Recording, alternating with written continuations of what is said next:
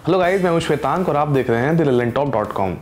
साल 1977 की 27 मई को एक फ़िल्म रिलीज़ हुई थी, अमर अकबर एंथनी। इसे डायरेक्ट किया था मनमोहन देसाई ने। अगर आज के समय में बनी होती तो best film for national integration के लिए नेशनल अवार्ड जीत जाती। लेकिन कोई बात नहीं, जिस दौर में आई थी, तब भी अचीवमेंट में कोई कमी नहीं थी। अमिताभ बच्चन को इसके लिए उनके करियर का पहला Filmfare best actor award मिला था। और लक्ष्मीकांत प्यारीलाल की जोड़ी को बेस्ट म्यूज़िक डायरेक्टर का। जिस साल रिलीज़ हुई उस साल की सबसे ज़्यादा कमाई करने वाली फ़िल्म बनी। इसके कैची गाने और वन लाइनर्स ने इंडिया में मसाला फ़िल्मों के लिए नया ट्रेंड सेट कर दिया। कहा जाता है इंडिया से ज़्यादा बड़ी हिट वेस्ट इंडीज में हुई थी। लेकिन इसके बनने का प्रोसेस ऐसा था कि फ़िल्म कंप्लीट हो गई डायरेक्टर को पता ही नहीं है। उसके बेटे ने बताया, तब जाके उन्हें पता चला। इसकी मेकिंग के ऐसे ऐसे मज़ेदार किस्से हैं कि भैया दिन बन जाए। लिखते वक्त फ़िल्म में अमिताभ बच्चन के किरदार का नाम था Anthony Fernandes Manmohan Desai music के लिए लक्ष्मीकांत प्यारेलाल और लिरिसिस्ट आनंद बख्शी के साथ बैठे हुए थे। टाइटल सॉन्ग तैयार हुआ। My name is Anthony Fernandes मैं दुनिया में अकेला हूँ। सुनते समय सरने मटक रहा था। गाने का फ्लो खराब हो रहा था बिल्कुल। तो नाम बदलने की बात हुई। लेकिन सवाल ये था कि रखा क्या जाएगा नाम? लक्ष्मीकांत प्यारेलाल ने तब बताया कि 1930 के दशक में एक बड़े मशहूर म्यूज़िक अरेंजर हुआ करते थे एंथनी गोंजाल्वेस लक्ष्मीकांत प्यारेलाल ने उन्हीं से संगीत की तालीम ली थी। उन्हें ट्रिब्यूट देने के लिए हीरो का नाम बदलकर एंथनी गोंजाल्वेस कर दिया गया। मनमोहन देसाई बड़े मस्त मौला आदमी थे, जिसके साथ भी फ़िल्म करते थे, कहते, कोई तैयारी करके सेट पर मत आना। ये कोई सत्यजीत रे की फ़िल्म नहीं है, एकदम इम्प्रॉम्प्टू शूट करेंगे। उन्हें फ़िल्मों के आइडिया भी कुछ ऐसे ही आया करते थे।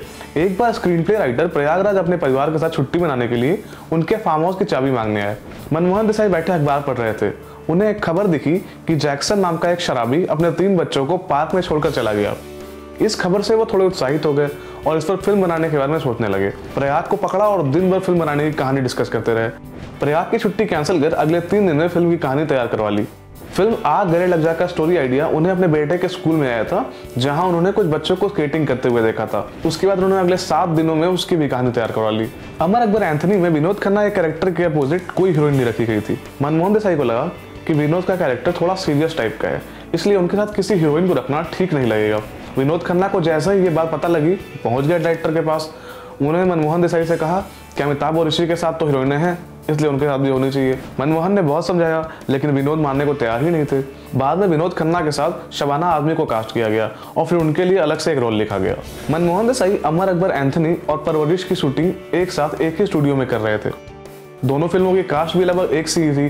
वो चाहते थे कि दोनों फ़िल्म को जल्द से जल्द रिलीज़ किया जाए। पहले वो परवरिश का एक सीन शूट करते, फिर अमर अकबर का। सारी की सारी तैयारी धरी रह गई, जब साल 1975 में इमरजेंसी लग गई।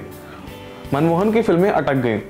इसी का नतीजा रहा कि 1977 में उनकी एक के बाद एक चार फ़िल्में रिलीज़ हुई। ये फ़िल्में थी धर्मवीर, चाचा भतीजा, परवरिश अमर अकबर एंथनी और ये चारों ही फ़िल्में ज़बरदस्त हिट रही। उन्नीस सौ बहत्तर में राइटर जोड़ी सलीम जावेद ने अमिताभ को मनमोहन देसाई से पहली बार मिलवाया था। देसाई अमिताभ से बिल्कुल इंप्रेस नहीं हुए। उन्होंने कहा, मैं इसे बस एक ही रोल दे सकता हूँ चिकन रोल इसके कुछ ही साल बाद वो अमिताभ के साथ फ़िल्म अमर अकबर एंथनी में काम कर रहे थे। सेट पर अमिताभ को बताया गया कि फ़िल्म में उनका एक मिरर सीन है, जहाँ उन्हें आईने में देखकर डायलॉग बोलना है। मनमोहन ने अमिताभ को स्क्रिप्ट थमाई और दूसरी फ़िल्म की शूटिंग करने चले गए। डायरेक्टर का वेट करते करते काफ़ी टाइम हो गया। असिस्टेंट डायरेक्टर्स ने कहा, सर, सारा सेटअप तैयार है, आप सीन शूट कर लीजिए। अमिताभ ने डायलॉग याद करने की बजाय इस सीन को इम्प्रोवाइज करने का सोचा और डायरेक्टर के बगैर ही वो सीन शूट कर लिया गया। मनमोहन देसाई की एक आदत थी। वो जनता का रिएक्शन देखने के लिए उनके साथ थिएटर में बैठकर फ़िल्में देखते थे। जैसे ही कोई बीच में उठता, वो उसे रोक देते थे। कई बार तो नौबत हाथापाई तक आ गई थी। अमर अकबर, एंथनी का प्रीमियर चल रहा था। फ़िल्म का स्टार कास्ट और इंडस्ट्री के जाने माने लोग बैठकर फ़िल्म देख रहे थे। जैसे ही वो आईने वाला सीन खत्म हुआ, मनमोहन खुद ही उठकर बाहर निकलने लगे। अमिताभ ने सोचा, कहाँ गड़बड़ हो गई? भागते भागते उनके पास पहुँचे, पूछा, क्या हुआ? मनमोहन ने बोला, अब से मेरी सभी फ़िल्मों में तुम काम करोगे।